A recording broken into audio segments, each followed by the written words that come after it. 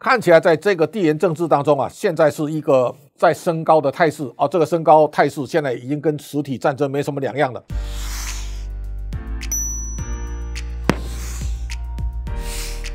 各位财讯的观众朋友，大家好，我是谢金河，欢迎再度收看老谢开讲。这一周当中，大家可以感受到，尤其在这个礼拜二，台湾刚刚过完国庆日，那么在股市开盘呢，台积电大幅的下滑，那么它的股价呢，当天大跌三十六块半，而台股加权指数啊，大跌了五百九十六点二五，那么这个是在这些年当中啊。大家所感受到台股非常肃杀的一天，那么这个肃杀的一天呢，我们把整个源头啊追本溯源一下。国庆日之前，美国哥伦比亚的广播电台，他派出了最资深的记者，他的名字呢叫西斯利哦塔尔哈，专程来台访问，包括李喜明跟张忠谋董事长。那么提到台积电的细盾在地缘政治当中的角色，张董事长特别提到，他说如果那个人他重视经济福祉。那么他不会伤害台积电啊？他说，如果人那个人要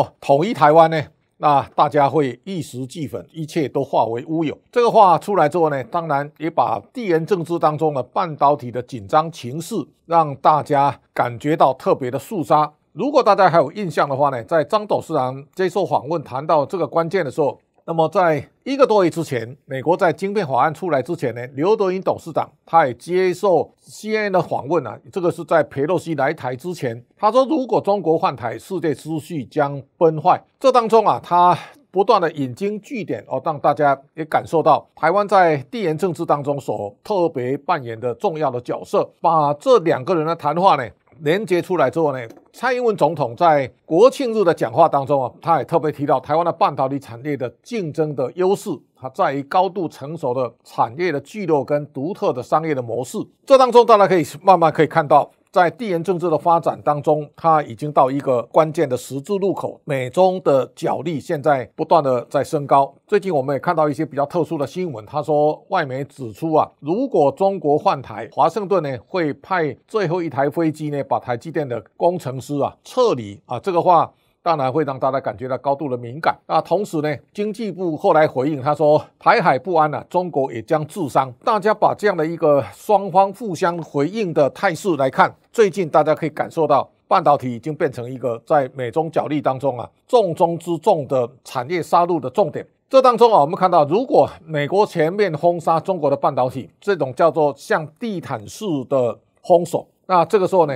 英国的伦敦金融时报啊，特别提到，在美国的一连串的制裁之下呢，中国的晶片厂会被打回石器时代。美国主体的高阶晶片销往中国，那中国会倒退十年。好，这个时候我们大家可以看到几个重点。这一次，美国在晶片法案出炉之后呢，美中的角力呢，不断的在升高。我们先把这个过程当中来稍微追本溯源一下。八月九号呢，拜登签署晶片法案。这当中，上一次我们提过了，五百二十七亿直接补贴，二两百四十亿是租税奖励，两千亿呢是重点投资 AI 跟机器人量子科学的先进制成的晶片。这当中也包括未来十年啊，接受补贴的企业不得到中国投资。第二点呢，是中国的限制啊，做设备制成从二十八纳米以下的成熟制成全部都内管。同时，美国要扶持加大力道在美国本地的制造业的生根。第二。个呢？美国在进行晶片法案的四方晶片联盟，这个当中包括美国、韩国、日本跟台湾。现在看起来，台湾、日本跟美国大概是连成一气的，韩国是进退两难。但是在这两天，大家也可以看到，设备大厂 KLA 呢，现在也宣布它的设备呢不卖给这个海力士的记忆体的工厂。这种情况之下呢，韩国在选边站困难的形势之下，如果被列为这个跟中国同一个联盟，这个对未来南韩的半导体产业呢，它也会带来非常巨大的影响。这个是第二个我们看到的晶片四方联盟。第三个呢，它限制 EDA 的卖到中国。那 EDA 是整个半导体生产当中一个非常重要的电子化的一个组成。这个组成里面包括电晶体的 GAFET 的架构的这个软体，同时也包括可耐高温的半导体的材料，氧化镓跟涡轮发动的压力增益燃烧。技术，这个是缺乏这个技术，你就没有办法往前进一步。现在它全部封杀了之后呢，我们再看到对 M D 的 GPU 跟 AI 晶片呢，它也全部封杀。这个封杀当然也导致现在我们看到 NVIDIA 的股价呢是大幅的下跌，这个跌幅相当的猛烈跟惨状，所以大家看到。NVIDIA 的股价呢，从最高三百四十六点四七到这两天呢，最低跌到一百一十二点八九，这个跌幅呢，大概已经达到百分之七十六了。这个是美国现在一连串的对中国的杀戮。这个杀戮当中，这个礼拜我们看到三个重点：第一个呢，美国直接宣布高速运算晶片呢不得卖到中国；第二个呢，所有的相关的技术不得输到中国。第三个，它同时限制，哪有美国护照的，不管什么人都不得到中国的半导体公司上班。这个时候，我想它管住的一个是产品，一个管住的技术，第三个呢，连人才啊都管了。这个三道程序下去之后呢，它当然对中国开始形成一个高墙。这个高墙呢，现在伦敦金融时报讲，回到石器时代，绝对不是危言耸听。所以我们现在可以看到。在这一次的晶片大战当中呢，美国已经啊所有力道都用尽了。那如果台海情势没有降温的话呢，可能它还会持续在往上走高。所以，我们大家可以看到，在这一轮当中啊，一方面呢，全世界的半导体股都大幅的下滑，所以中国的半导体的倒闭风潮呢可能会更扩大。所以媒体讲到晶片战呢，台湾的技术啊很难复制。这个时候，我们大概可以看到中国的。整个产业的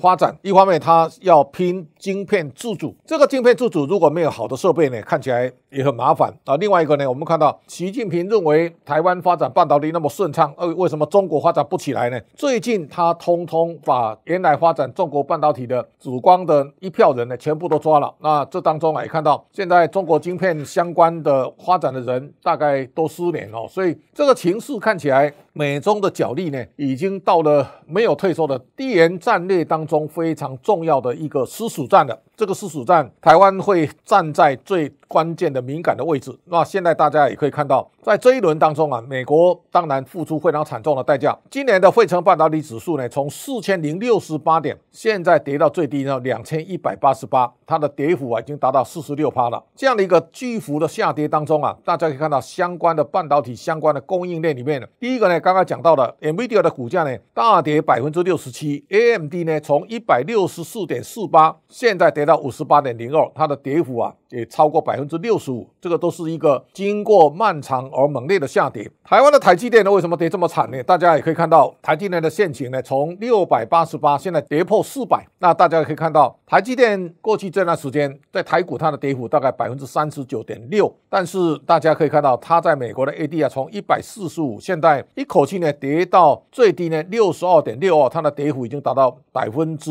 五十六点九哦。那这看起来台积电的 ADR 呢跌幅非常的惨重。这个惨重啊，台湾过去一段时间大家讲两只大象打架，台湾千万不要选边站。但是呢，你没有选边站呢，看起来已经到不可能的地步了。当美国开始对整个半导体产业它寄出一个坚壁清野的动作之后呢，大家可以看到台积电的现在外资啊，今年已经卖超过九十万张了。在十一号呢，它卖了四万四千六百九十四张，更加猛烈。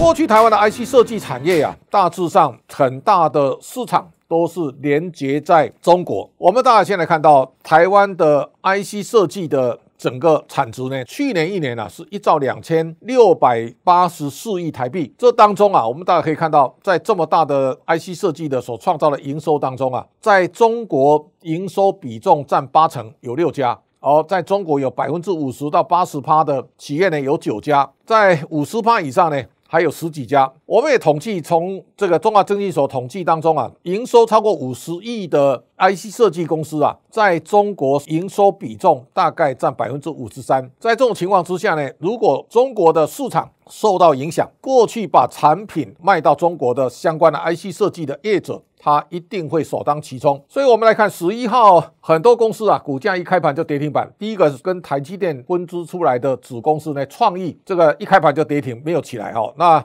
大家也可以看到，跟中国连接比较高的四星也是开盘之后就跌停板。这当中也包括翔硕，这是大家特别要注意的。这种快速运算晶片，包括台湾最有竞争力三家公司，一个翔硕。另外一个是普瑞，另外一家是四星。那我们以普瑞来看，普瑞的股价从两千两百四十一口气掉到五百七十四，它的跌幅都超过百分之七十。在这种情况之下呢，美国现在直接限制高速运算晶片不得卖到中国。对台商来讲，过去大陆市场大家有一些灰色地带，大家可以用迂回曲折的方式呢进到中国，但是未来看起来你必须啊要坚壁清野。美国制裁中国的力道呢加重。这个加重的情况呢，看起来是跟实体战争呢已经没有什么两样了。最近大家可以看到，包括电源管理 IC 的细力科啊，也是跌幅非常惨重。这样的一个惨重的跌势啊，大家千万不可掉以轻心。美国在这一轮当中啊，从升息引发的忧虑，再加上晶片战争，看起来在这个地缘政治当中啊，现在是一个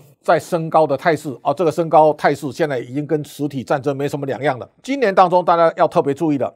俄乌战争现在看起来到一个后段的阶段了。那最近大家看到，包括在克里米亚岛的克赤大桥被轰炸，也包括北溪二号的管线呢被炸，大致上都告诉大家，整个俄乌战争呢进入到最后的。下半场啊，这个最后的尾声到底怎么收尾？现在看起来，普京在最后的困兽之斗能不能突围呢？如果俄乌战争开始明朗化之后呢，我相信美国会有更大力道来看中国未来的演变。那如果在台海情势紧张、没有降温的情况之下呢，美国对中国的制裁看起来会步步升高。哦，这个也是现在我们在观察，在俄乌战局之后呢，下一个美中的争霸战和美中的角力，我们要看台湾。两岸关系会是一个非常重要的指标。如果两岸剑拔弩张，台湾的备战或台湾的产业所受到的冲击，我相信会更大。而在这一次的地缘政治当中呢，特别提醒大家，半导体会是在地缘政治当中的杀戮战场。而台湾过去我们很多产业呢，跟中国连结非常的深，在双方坚壁清野的情况之下呢，台湾的半导体股跟半导体产业呢，这一次会受到冲击，也会最大。但是我相信，在经过这个调调整之后呢，从地缘政治到杀戮的战场之后呢，台湾也会开始理出一个头绪。这个时候呢，我相信从晶片战争到供应链的移转，会在台湾未来产生一个非常巨大的变化。那供应链的移转，下礼拜有机会再跟大家详细来深入探讨。感谢大家的观赏，今天老谢开讲到这边告一段落，下周同一时间请大家继续收看。